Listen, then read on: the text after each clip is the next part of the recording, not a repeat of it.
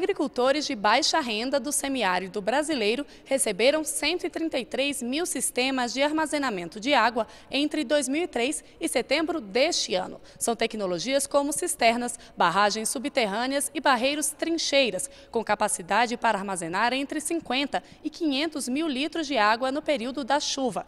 As entregas fazem parte do Água para Todos e servem tanto para o consumo humano como para a produção de alimentos. Além dos sistemas de armazenamento, o programa garantiu água de qualidade para mais de 1 milhão e 200 mil famílias. De Brasília, Sumaia Vilela.